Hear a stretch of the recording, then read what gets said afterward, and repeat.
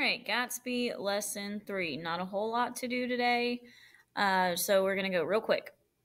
Here's your PowerPoint. You can go through slides 18 through 21. There's a lot of things that we would just discuss, so we'll do that Tuesday, Wednesday when you come back to class. The main thing you need to know to do is this assignment in Google Classroom. So when it loads,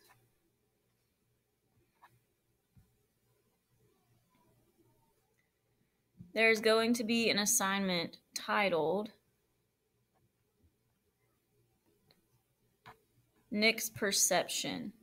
And there's an attachment where you are going to fill out a chart.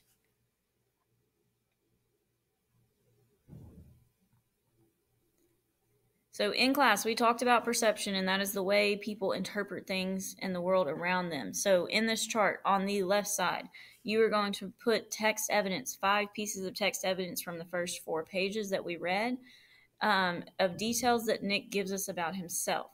Then on the right side, you will do five pieces of evidence, details Nick gives us about other characters, events, or settings. So basically, the story as a whole. Once you get done with that, down here, uh, answer these two questions. The first one What is the narrative structure of The Great Gatsby? Meaning, we talked about how it's a first person narrative.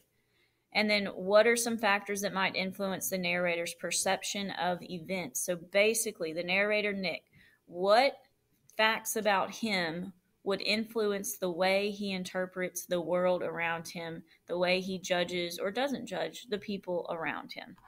You will finish just